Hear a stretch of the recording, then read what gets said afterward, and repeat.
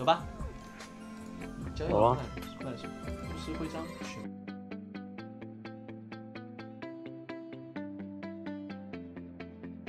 没有，我只有两千，我只有两千一。我跟你说，干昨天超好笑，我们有一个补师，然后魔攻一千一，然后我们困难还过，然后补多少？补一百，一一千多而已哦，妈超好笑的，超好笑。然后我们三场还过，超好笑。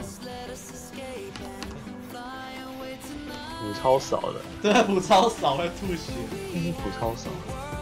不假，水晶这样太少，要到四百趴。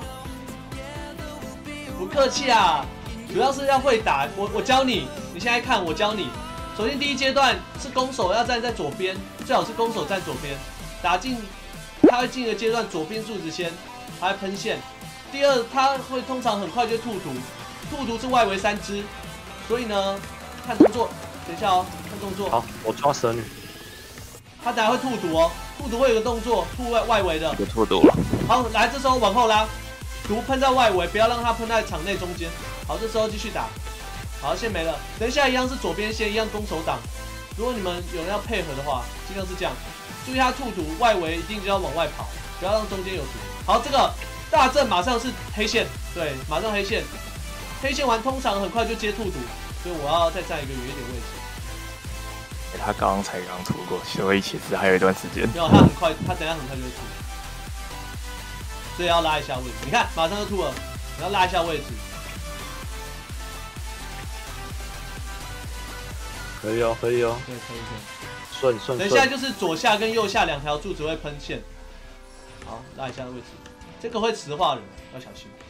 拉一个位置。他会有一个先拍地板的动作，马上会接大跳，大跳完会接线。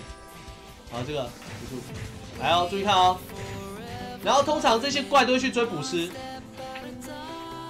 拉过来，拉过来，我我有挑衅，拉过来来。吐毒了，拉开拉远。好，这个这个接线会有线，然后马上挡，就这样，我继续打。等一下就是左下右下右上三条线。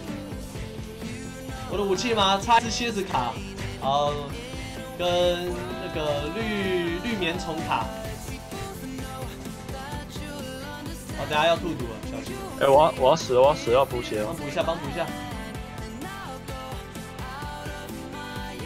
然后还有一张瓜牛，啊，吐毒吐毒拉，拉回来，OK。好，这可以哦够了够了够了顺的哦。我输出也才两千七，然后骑士的输出应该三千了吧？